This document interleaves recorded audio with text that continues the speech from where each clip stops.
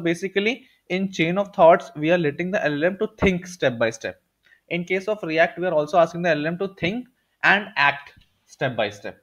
So let's understand this also. So uh, according to the paper uh, in which ReAct has been mentioned it says that it is better than chain of thoughts um, method. So let's uh, deep dive into this method. So basically it has majorly three parts. One is reasoning reason the current state and what needs to be done action taken action depending upon the reason and observation results after taking an action. So if you look into a sample ReAct prompt how it would look like so this looks like something.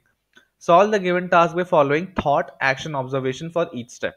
So in ca- uh, in case of chain of thoughts we were just thinking step by step. Now we would be acting also and observing what are the results after that action.